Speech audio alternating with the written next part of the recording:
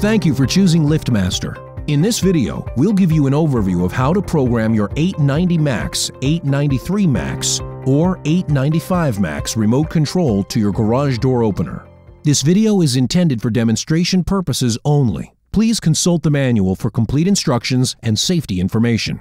Our remote controls are intended for use with residential door openers manufactured after 1993 that utilize photoelectric sensors. The photoelectric sensors are always located on or near the bottom of the door track. Garage door openers that use dip switches don't meet this requirement and should be replaced with a newer model. Great, let's get your remote control programmed. Start with the garage door closed. Also, make sure there's a light bulb in your garage door opener. When it flashes, that lets you know the programming was successful. The 890 Max, 893 Max, and 895 Max are compatible with LiftMaster, Chamberlain, and Craftsman garage door openers that have yellow, green, red-orange, and purple Learn buttons. For more information, visit support.chamberlaingroup.com and look at the compatibility chart. The Learn button is usually located on the back or side panel of the opener. Locate the side of the opener where the antenna wire hangs down. That's where you'll find the Learn button you may need to open the light lens. If you have a yellow or purple Learn button, the antenna wire will match the Learn button color, which can save you a trip up the ladder. Some garage door openers come with a control panel that can be used to program your remote control. There are several styles. The multifunction control panel, the motion detecting control panel, the smart control panel with an LCD screen, and a doorbell-style single-button control panel. Follow the steps that apply to your style of control panel or use your garage door opener to complete the programming. Look for your Learn button color on the chart in the instructions. This will tell you how many times to press the button you want to program on your remote control. Our Learn button is yellow.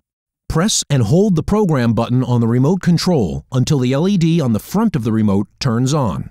Each style of remote control has the program button in a different place. For the 890 Max, Use a paperclip to press the program button in the hole on the side of the remote control. For the 893 Max, remove the visor clip and use it to press the program button on the back of the remote.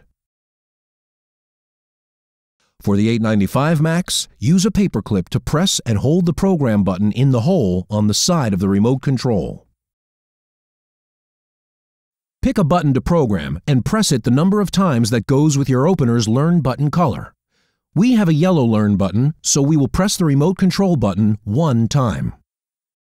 Now press and release any button other than the one you just pressed. If you have a door control with a Learn button, press and release the Learn button two times. If you have a door control with an LCD screen, press Menu. Press the down arrow until Program is highlighted.